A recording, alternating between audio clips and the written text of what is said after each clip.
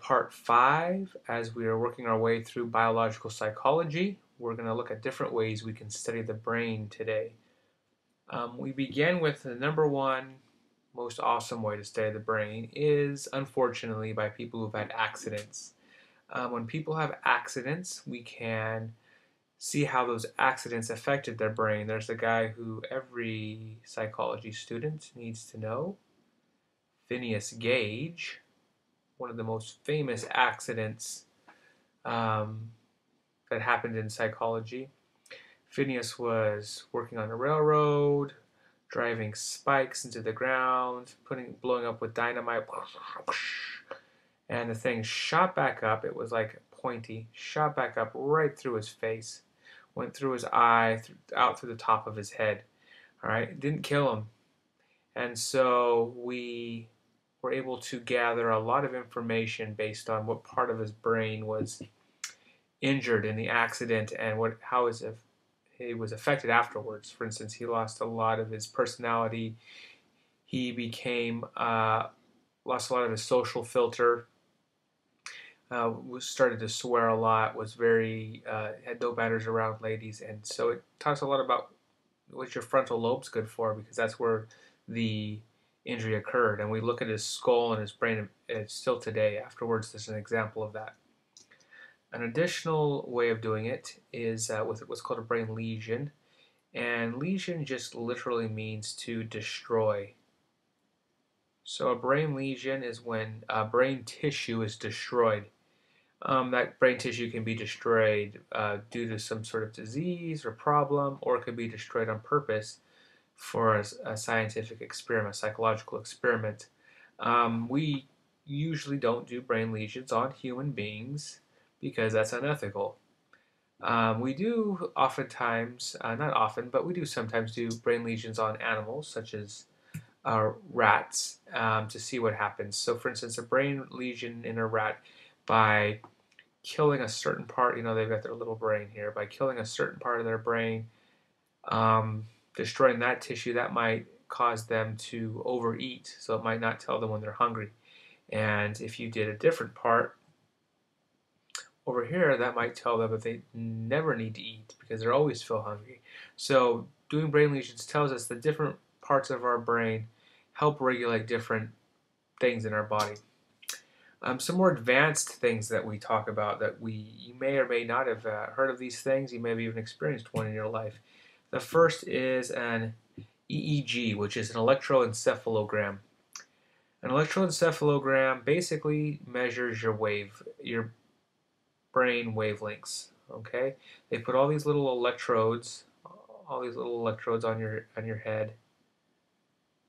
Okay, I can't even draw, and all these little things get little bits of information. Right, they're so small and so powerful now that they can measure the electrical impulse from one neuron, which is tiny, tiny, tiny, and takes all these electrical impulses, blocks out the anything that's not supposed to be it's not supposed to be looking at and when you're doing something that it's trying to study it analyzes those wavelengths and that can tell us a lot about what's going on in your brain at that moment.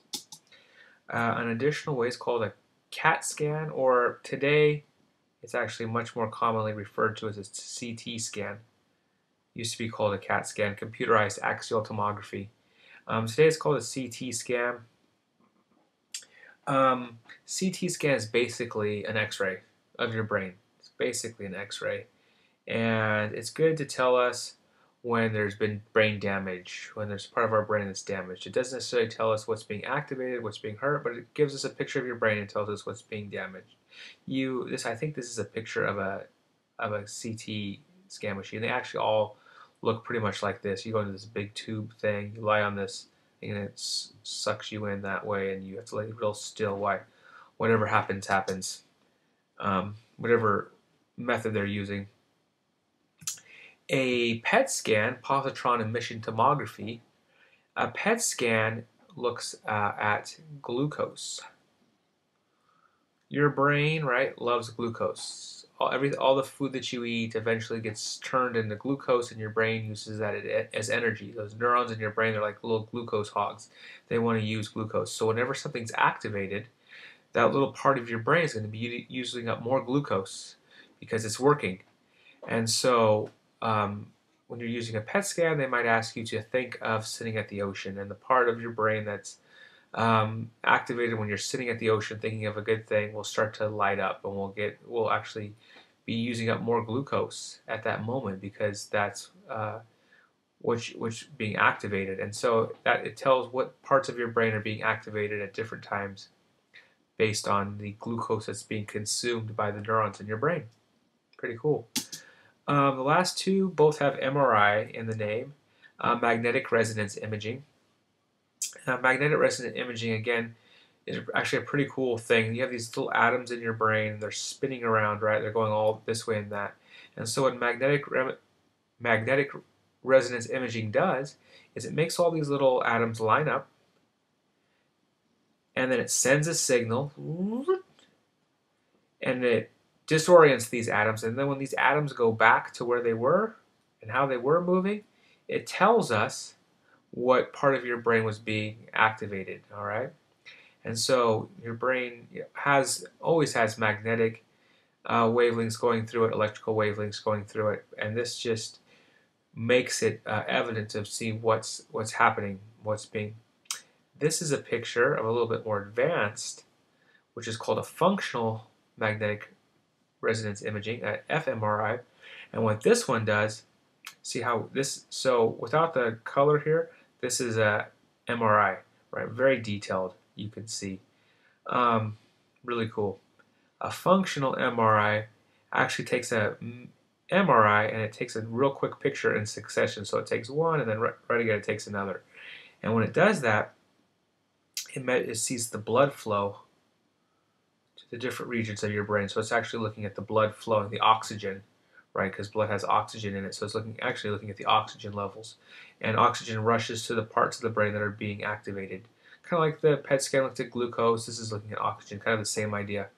And so, depending on what part of your brain is being activated, you know, it takes a thing, one picture, then immediately another picture, and shows the changes. And those changes it uh, colors and tells us that that part of your brain is being activated. So these are the most important for uh, this class to know. Um, fMRI, MRI, PET scan, CT scan, and then an EEG. And if you know those and kind of what they do, you're going to be all right. Thank you.